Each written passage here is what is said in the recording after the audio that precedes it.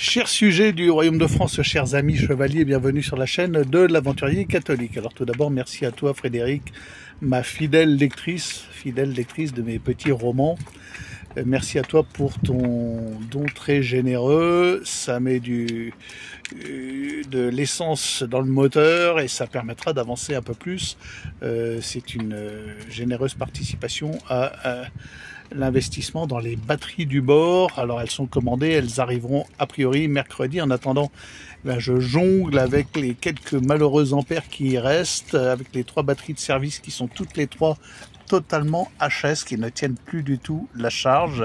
Voilà, elles se chargent plus. Euh, alors donc euh, l'énergie du bord vient euh, des panneaux solaires. Hein qui font le boulot, qui font, euh, voilà, elles font encore tampon les batteries, donc la tension remonte et j'arrive quand même à recharger bah, mon téléphone, euh, avoir un petit peu de lumière le soir parce que les, les ampoules du plafonnier, du carré sont assez peu regardantes sur l'intensité et sur la tension, euh, voilà, sachant que la tension, elle tombe euh, largement au-dessous de 11 volts euh, dès le soir, venu. Et donc on a un peu de lumière quand même. Bon, bah, on tire dessus. de toute façon, elles sont mortes. Donc tant qu'à faire.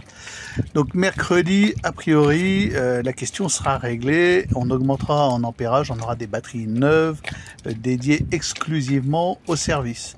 Alors sachez qu'à bord, il y a deux circuits. Il y a le circuit pour euh, la batterie de démarrage, pour le moteur, qui est euh, séparé, totalement séparé euh, des batteries de service. Parce que le moteur, c'est de la sécurité absolue. Il n'est pas question d'utiliser la batterie de démarrage pour le service et de coupler les deux circuits. Donc les deux circuits sont totalement séparés. Et ce qui fait que ben, la batterie de démarrage, elle, elle est bonne et le moteur démarre.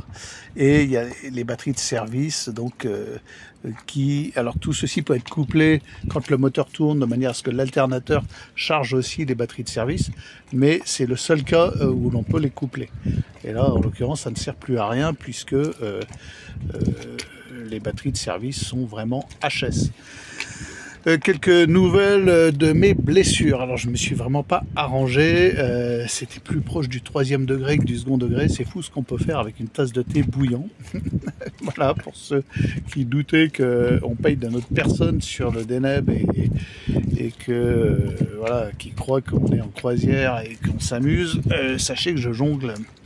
Bon, ça va un peu mieux, un tout petit peu mieux. Je me soigne. Euh, j'ai tout un tas de crèmes euh, qui m'ont été prescrites euh, par de la famille médecin et bah, je les utilise, je me badigeonne tant que je peux. Et bon, ça va tout doucement. C'est très long, très très long. Vu l'ampleur des brûlures, c'était quand même assez vaste.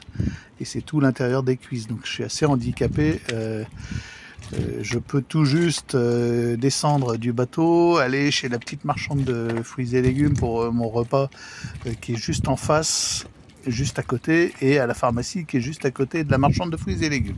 Mais j'irai pas plus loin. hier, aller à la messe, j'ai mis ben, tout l'après-midi pour m'en remettre.